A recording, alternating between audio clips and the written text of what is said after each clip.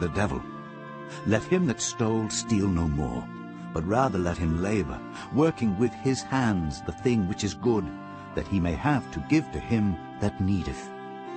Let no corrupt communication proceed out of your mouth, but that which is good to the use of edifying, that it may minister grace unto the hearers.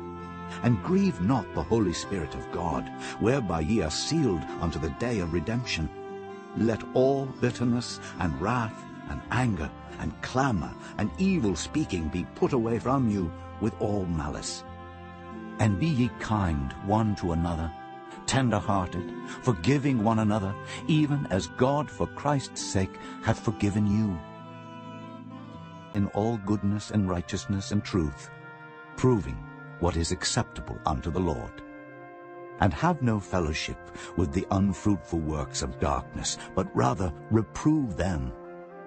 For it is a shame even to speak of those things which are done of them in secret. But all things that are reproved are made manifest by the light. For whatsoever doth make manifest is light. Wherefore he saith, Awake thou that sleepest, and arise from the dead, and Christ shall give thee light.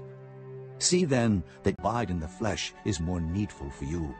And having this confidence, I know that I shall abide and continue with you all for your furtherance and joy of faith, that your rejoicing may be more abundant in Jesus Christ for me by my coming to you again. Only let your conversation be as it becometh the gospel of Christ, that whether I come and see you, or else be absent, I may hear of your affairs, that ye stand fast in one spirit, with one mind, striving together for the faith of the gospel, and in nothing terrified, as ye have always obeyed, not as in my presence only, but now much more in my absence. Work out your own salvation with fear and trembling.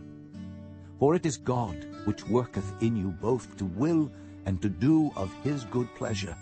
Do all things without murmurings and disputings, that ye may be blameless and harmless, the sons of God without rebuke, in the midst of a crooked and perverse nation, among whom ye shine as lights in the world, holding forth the word of life, that I may rejoice in the day of Christ, that I have not run in vain, neither labored in vain. Yea, and if I be offered gift, but I desire fruit that may abound to your account. But I have all and abound. I am full, having received of Epaphroditus the things which were sent from you, an odor of a sweet smell, a sacrifice acceptable, well-pleasing to God. But my God shall supply all your need according to his riches in glory by Christ Jesus. Now unto God and our Father be glory some time, when ye lived in them. But now ye also put off all these, anger, in the which ye also walked some time, when ye lived in them. But now ye also put off all these, anger, wrath, malice, blasphemy, filthy communication out of your mouth.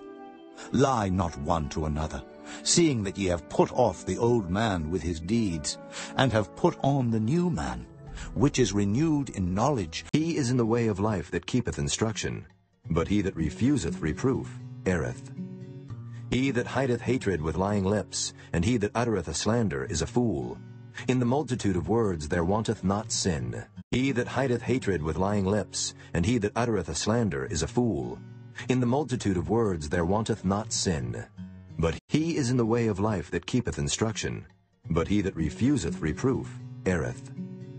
He that hideth hatred with lying lips, and he that uttereth a slander is a fool. In the multitude of words there wanteth not sin, but he that refraineth his lips is wise. The tongue of the just is as